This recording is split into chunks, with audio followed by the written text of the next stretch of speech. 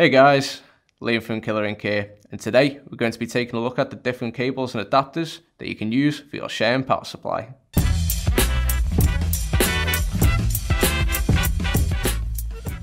The purpose of this video is to help you choose the correct cable for your setup and to clear any confusion you may have in regards to which cable or adapter you can use. As you can see, we have a range of adapters and cables here, most of which are made by Cheyenne. We have cables that allow you to use non-Cheyenne machines with Cheyenne power supplies, as well as cables for plugging Cheyenne machines into power supplies made by other companies. First up, we'll be looking at cables to use non-Cheyenne machines with Cheyenne power supplies. The most popular cable that artists will be looking for is the Cheyenne Hawk adapter cable.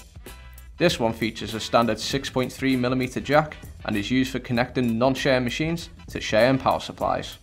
One end is male and it will fit into the jack of the Cheyenne power supply, while the other end is female, allowing you to plug in a standard jack clip cord or RCA cord.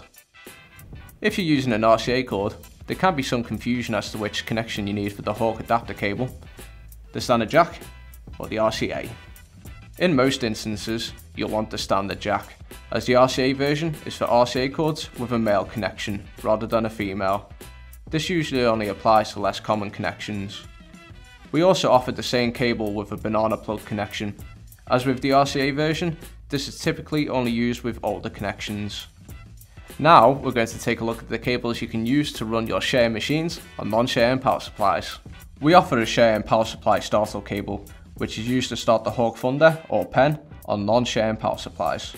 This cable may be required for older power supplies or those without a startup or boost feature. This is due to the fact that the Thunder, for example, has a very powerful motor, so power supplies without this cable would have to run at a higher voltage to start the motor and run the machine. With this cable, you don't have to start the Thunder on a higher voltage and then turn it down. You can simply start the machine at your desired voltage. Before you buy the startup cable though, Make sure to check whether your current power supply has a boost feature available. This feature can be found on power supplies such as Critical, Venom, Musotoku and Piranha. We also stock a cable with a 4mm banana jack that allows you to connect your Cheyenne machine to an older power supply if needed. So aside from machines, what about foot pedals? We stock adapters that allow you to use your standard jack pedal with Cheyenne power supplies and vice versa. With this Cheyenne adapter, you can convert a 6.3mm plug to an RCA connection. Basically, it allows you to use a standard foot pedal with a Cheyenne power supply. On the other hand, you can use this straight RCA to 6.3mm jack adapter to connect your Cheyenne foot switch to a standard power supply.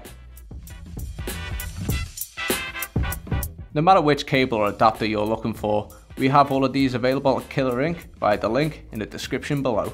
So we hope we have cleared any confusion you may have when selecting a cable for your setup, whether it be a Cheyenne machine or power supply. If you have any other questions, let us know in the comments below. And don't forget to like this video and subscribe to our YouTube channel.